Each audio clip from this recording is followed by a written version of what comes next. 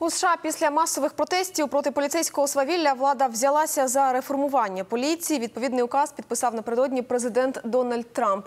Що хочуть змінити, які впровадять нововведення, і що про майбутні зміни думають у суспільстві. Дивіться далі. Вдосконалення програм атестації та підготовки поліцейських, посилення роботи над їхнім психічним здоров'ям, база даних про копів, схильних до насильства і додаткове фінансування. Такі пункти містить указ про реформування поліції, підписаний президентом Дональдом Трампом.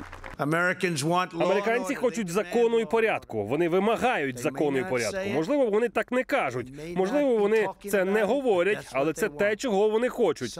Дехто з них навіть не розуміє, чого він хоче насправді. Трамп противник скорочення фінансування для поліцейського департаменту, як того вимагають учасники багатотисячних протестів. Навпаки, він наказав виділити гроші на програми для покращення стосунків між правоохоронцями і громадами. Така позиція республіканців. Демократи вважають, що цього недостатньо. Вимагають зобов'язати всіх поліцейських носити натільні камери та обмежити застосування прийомів, що можуть призвести до смерті.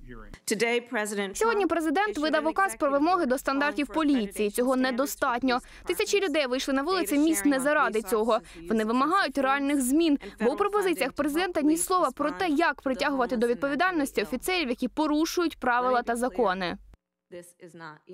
До нинішніх дій владу спонукали масові протести, що прокотилися країною після загибелі під час арешту афроамериканця Джорджа Флойда.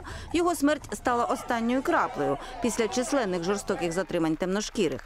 Тож тепер мітингувальники нагадали про все: і про насильство поліції, і про три сторіччя рабства, і про те, що пам'ятники деяким діячам тієї доби варто демонтувати.